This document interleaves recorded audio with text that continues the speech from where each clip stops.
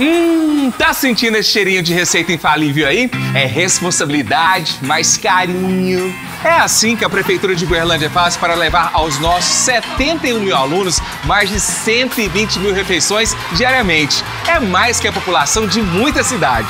E tem mais, essa merenda é balanceada por nutricionistas. Já foi eleita a melhor do Brasil e tá cada dia mais gostosa, não é mesmo?